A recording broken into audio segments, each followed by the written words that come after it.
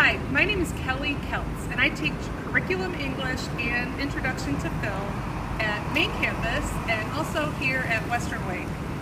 I created two sections in Lesson 2 Develop Essays.